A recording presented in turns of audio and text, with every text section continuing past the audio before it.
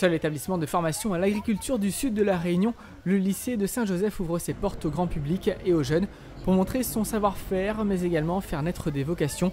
Le public est ravi. De manière voir un peu si on a des plantes, des animaux et tout. Si c'est à vendre, si c'est à regarder et tout ça. Quoi. Alors ben, pour le, le, temps, le, temps, est bon, donc euh, déjà euh, je pense que c'est un bon point pour, pour cette sortie.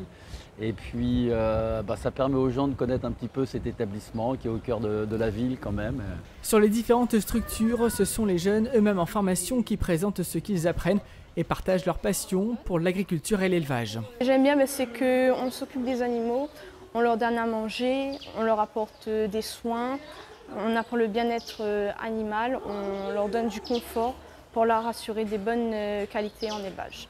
Des intervenants d'autres structures participent aussi à cette journée, comme ici les alchimistes qui travaillent sur le compost avec des enjeux environnementaux importants. À l'heure actuelle, euh, eh bien, quand on a des restes alimentaires, on les met dans la poubelle noire et ça va directement à l'enfouissement.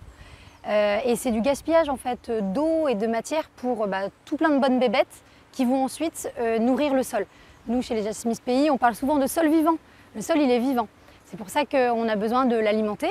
Euh, et les enjeux en eau correspondent aussi à des enjeux de compost. Le chef d'établissement organise chaque année avec ses équipes cette journée pour faire découvrir les formations choisies par quelques 500 personnes avec des nouveautés à présenter cette année. Nous avons reçu euh, des équipements notamment sur notre pôle horticulture dans le cadre de l'ouverture d'un BTS production horticole.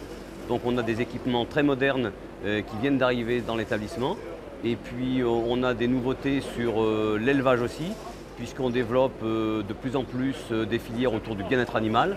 Et donc on a par exemple euh, créé un atelier d'engraissement de porc sur paille.